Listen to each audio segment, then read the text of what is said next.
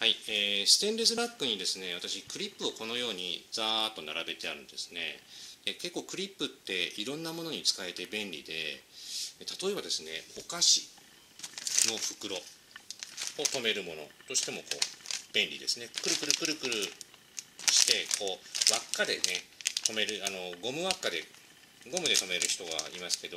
結構ちょっと隙間があったりとか留めるのめんどくさい。でもこれだとねキュッとこう挟むだけですぐ使えるので便利ですね。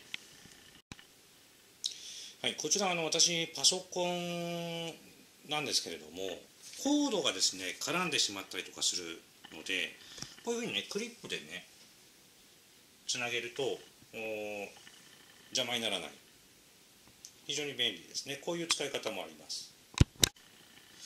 はい、こちらコードですね。コンセントのところからいっぱいコードが出ると思うんですけど、えー、紐がね、あっち行ったりこっち行ったりしてね、わけわかんなくなっちゃったりするので、私あの結構こういうカラーのね、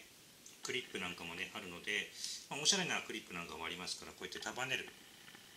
というような使い方もできるので、えー、便利かなと思いますね。はい、私ね、ゴミ箱ね、段ボールにしてるんですよ。なんでかっていうと、ゴミがねゴミで汚れちゃったりとかした時に段ボールだと捨てれるでしょう。なので私、えー、こ段ボールの方がね結構45リッターのこの袋が結構は入るんですね、えー、なので結構たまるので私結構ゴミをいっぱい出すもんでですねこういうふうな使い方をしてて。この45リッターの、えー、袋を止める時にこのクリップがあると便利なんですね、えクリップですけどこういうふうにえー、引っ掛けたりとかねマスクをこう干したりとか引っ掛けたりとかすることにもね、えー、使えるので結構クリップっていうのいっぱい使ってますね。はい、えー、男の一人暮らしですけれども、えなぜか歯ブラシが。何本もある。いやいやそれはいいんですけど、